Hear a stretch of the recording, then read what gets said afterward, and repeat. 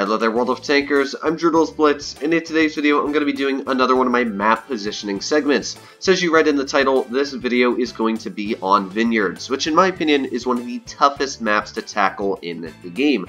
The reason for that being is there are so many different spots. There's the town, there's the middle area, then there's the buildings you can sit at, the other broken downtown on the other side of the map. There are so many different spots you can go to on Vineyards that it makes it a very tough map to know where to push if you're newer or even an experienced player. I struggle sometimes trying to figure out where to go. So in today's video, I'm going to be breaking down vineyards. As you can see here, I have my mouse, so I'm going to be showing you a replay in my mouse. But of course, me showing you just one replay isn't going to tell you everything you need to know on where to push, because I'm in a mouse. You're not going to be able to do the same thing in a Leopard that I am doing in this vehicle. So after this game is over, I'm going to pull up Strat Sketch, and I'm going to show you guys a bird's eye overview of vineyards, all the positions you could go to in different types of vehicles, tank destroyers, mediums, lights, and hopefully you will learn a thing or two about vineyards, and this will increase your win rate, or at least on this map.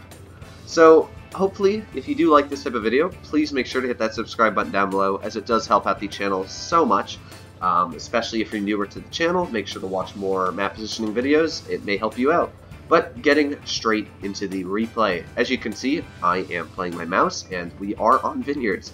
And I'm going to be pushing my mouse to a spot you wouldn't normally expect a mouse driver to go, and that is right to the middle of the map in the encounter cap position. Now the reason for this is, in my opinion, this is the strongest choke point in the entire game.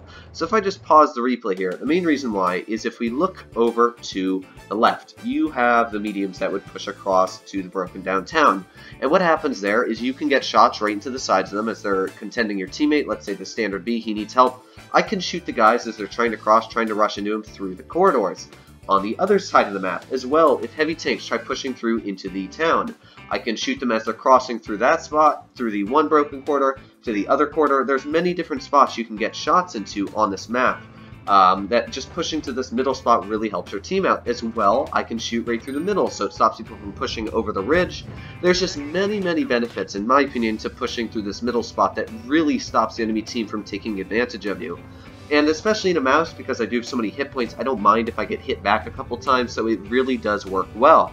But this spot works pretty much for any hull down vehicle, so any Patton M48, M60, 121B, you're pulling out your WZ-113, IS-7, IS-4, all of those types of tanks will work in this position, especially ones like the STB-1, AMX-30B. They will dominate a position like this. But you can see I pretty much have a constant source of firing because there's always somebody that I can shoot at with three different spots of angling. T22 medium pulls out, and you're going to see this T22 medium gets a big, bad, unlucky gamble there and gets ammo rack for 1,300 hit points. But just holding this position is extremely important to winning a battle. I'm gonna, you know, try and get this Kampfpanzer. Now, I do make a mistake here. I over-angled my side. I didn't over-angle it. I overextended my take a little bit. That is one thing that I really don't run the mouse that much, so I wasn't expecting my sides to be that large. But as you can see, I've noticed, okay, the Sheridan and the AMX are over on the medium side, and they've just pushed through. I don't want to get shot in the side by those guys, because there's nobody spotting them. So I'm going to push over. Kampfpanzer really isn't going to pen me that easily. I wasn't even sure if he was still on the reload, so I pushed right over, killed the Kampfpanzer. The 183 got an unfortunate bounce right on the side of my tank. I think he could have actually penned us right in the hull if he'd aimed for it, but now I know that the 183 player probably isn't the best because he has bounced a shell off us. So I'm thinking, okay, I need to push on this 183. Of course, I'm not just going to drive straight over the ridge because that's going to make my lower plate extremely easy to shoot. So I'm going to go around and then I'm going to use this little windmill and it's going to hide my lower plate. Second of all, I'm thinking because I'm on a slant or I'm on a ridge, it means that my upper plate is being extra angled up. So my turret's going to be harder to penetrate, and my upper plate is going to be nearly impossible for that 183 to penetrate. He shot, so I'm not too worried right now. Going to get another slam right into his vehicle. So right now I'm thinking we're pretty well off. We've already done 2,700 damage. 183 is going to be taken out, one of my biggest threats. So one guy that can easily pen me is going to be taken out. And this is all just because I knew when to push.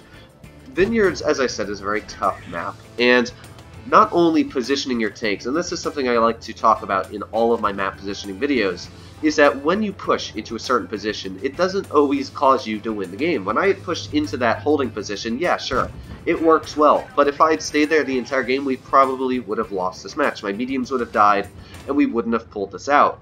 But because I knew when to push, I pushed at the right time, I was able to clear the 183, distract him, clear the Kampfpanzer, as you can see, there are still people that are distracted by me. I know that I need to clear this Ho-Ri because he is the next biggest threat. He's the only guy that can pen me. He's got the best DPM. Other than that, yeah, Sheridan, it might be annoying, it might shoot missiles, but I'm not too worried about a Sheridan DPMing me to death while a Ho-Ri can easily do that. So this Ho-Ri, yeah, I'm not sure about that miss there, but you can see Ho-Ri's about to be taken out. We're doing a pretty solid job here. Nice little love tap. Now he's pretty much a standard, or not a standard, an APCR one-shot. So about to load that APCR and thank you Conqueror for taking out the enemy and all we have left is the AMX-30B. So this is a pretty simple game. There wasn't anything spectacular that happened, but we were able to expel 4,348 damage plus a little bit of ramming. And the reason I wanted to show this specific replay over any other on Vineyards is because, as I said, change always happens in games. And not only are you pushing into a position where you think is strong, you have to know when to push out of that position. Because I made the conscious decision, okay, I see the 183, I see the mediums trying to flank, so I need to push on this 183. I need to clear the Ho-Ri. I need to clear these guys before those mediums get back and start clearing me, start shooting me in the butt after I can't spot them. So it worked well. I was able to push at the right time, and as you can see, we were able to come out in victory, pull out that mastery badge, and this is just a nice, simple match that I was able to win. So hopefully you did learn a little bit on positioning there, um, but now I'm going to pull up StratSketch and show you guys a bird's eye overview of many different positions you can go on this map. As we are now in StratSketch, I'm going to be showing you all the positions you could have ran heavy tanks, medium tanks, tank destroyers, and lights. So as you can see, we got the blank map here. I really do like StratSketch, how you get that bird's eye overview. But of course, I push my mouse right into the spot at the base capture. You can push a mouse there, you can push medium tanks, even some tank destroyers like a Badger, E3 do a really good job in that position. So that is a unanimous spot. That depends on the CERN vehicle if you're playing.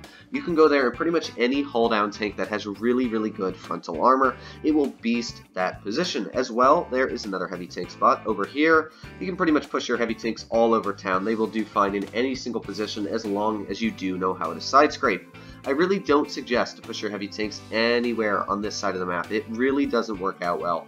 Maybe if you're in a faster type of heavy, you could push into this bush spot here, but honestly, I definitely would not suggest to do it. I always see people trying to cross here in big, slow heavies, and when somebody sits into this position right here, they just get shots all the way across on you, and it shreds you to pieces. So definitely, whatever you do, do not push your heavy vehicles over to the little broken downtown here. Always push them to the right side of the map. That's what I feel is a much better spot. When looking at the medium vehicles, medium tanks are also very, very tough to play on vineyards. Now you can push medium tanks over to the medium side, which would be to the left. You can push them through. I personally never have found myself once going since these maps started, uh, going into the broken downtown area over in this corner. I just never go to the left side of the map. Because I feel that, again, you can get shot in the side when you're pushing there, people can shoot you in the corridors, shoot you through the alleyways, it just really doesn't work out, in my opinion. Now, you can go there, and I have seen teams win pushing to that position, but in my opinion, I personally push my medium right to this spot here or there, because that gives me shots, I can shoot people across, over here, you know, it works very well to shoot mediums that are trying to cross. Gives you very good line of sight, and as well, if you're being pushed on, you can easily get away. If you're stuck over here, if you're stuck over here, um, it's going to be very hard to get away from a medium tank that's chasing you down, or you've got people that are sitting over here that can shoot you once you've gotten out of there. This spot is very easy to change positions. You can rush up here, help out your team if something bad happens. You can rush over to the heavy side. It's very, very easy to do your job. Now, of course, Vineyards is a very, very symmetrical map. A lot of people ask, can you show the other side of the map for red teams? Um, this is pretty much the same for both sides of the map on position, so of course if you're running your heavy tank on one side of the map, of course you can run it right here as well. It works on both sides, so just keep that in mind that any position I'm showing you for my green tanks here can also do for the red tanks on the other side of the map. But getting straight back into it, now we are onto the tank destroyer class. Mediums and lights I sort of classify in the same area. I would pretty much run your light in this area as well. It's very, very effective. It works pretty much all times. And as long as you have your light there, you're going to easily spot people that are pushing through the middle here. You can get shots on them. You can sometimes even back up over to the, the little crate here and shoot people that are trying to cross into this spot here. If you don't spot anybody crossing this area here, same for on this side of the map. If you don't spot anybody crossing in this area for about, let's say, 30 to 40 seconds in a light tank, you can easily just aim over to this side of the map, spot the heavy tanks as they're crossing through, get shots into this alleyway, this alleyway. It is very, very effective when using medium tanks in a very good spotting position, especially with this bush here. If you're in that spot, it really does work well. But as I said, we are now moving on the tank destroyers. Now just like the medium tanks, I also push my tank destroyers into this position here. It works very well, again, to shoot people across in an area like this. You can get people all around the map on that side. Another very, very prominent tank destroyer bush is all the way in the back here. Uh, out the destroyer. It's also back there. That works very well. You've got a bush. You can get shots across the map into this area. Um, sometimes you can get them into the corridors, into the alleyways, so that works very well for tank destroyers. And the last good spots, I would say, are somewhere along the back areas of the heavy spots. So tank destroyers are very, very hard to run on this map because it's so hilly, but I definitely would not suggest to run them anywhere like back here. This really doesn't work well. So there's really not a lot of spots for tank destroyers. Of course, again, if you are in an E3, Badger, E4 type tank, you can push it right up next to your heavy tank there. That works very, very well. And again, you can also run your heavy tank on this side. It works very, very well on pretty much any spot you do push a heavy tank and tank destroyers, but overall, it's pretty easy to run tanks as long as you do know simple bushes, simple spots to be able to shoot enemy tanks. Vineyards is a very, is a very predictable map once you see where the enemy team is going.